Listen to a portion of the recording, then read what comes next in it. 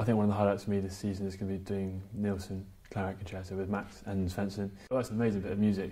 It's fiendishly impossible clarinet part, and well, Max is just incredible. It's great. It's almost in places a duet. Um, there's sort of some cadenza parts for snare and clarinet. Um, a huge range of sounds, uh, very integral. Very odd to have a piece with, with no timps with just drum. The Nielsen, we're playing Spades 4 with Swensen.